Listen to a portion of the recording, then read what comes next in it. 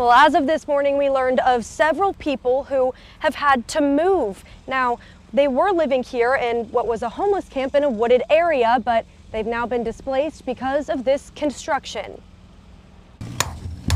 It's a sad state for Norman. We're just shuffling these folks around. They're going to camp somewhere else. Uh, developers are going to come try to develop. Uh, it's going to repeat the cycle.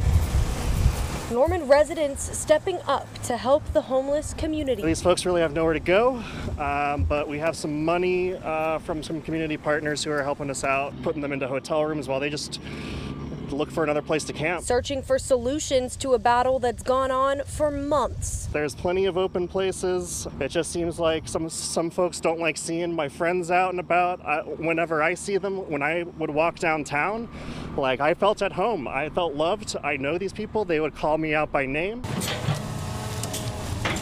And demanding action. Just stop listening to these folks who see these folks as a blight. These are humans.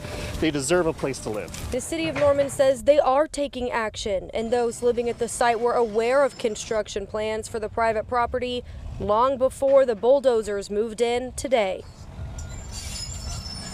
The city said that those plans are moving along and they are hopeful for a positive solution. They say that they have two applicants they are considering for a new shelter.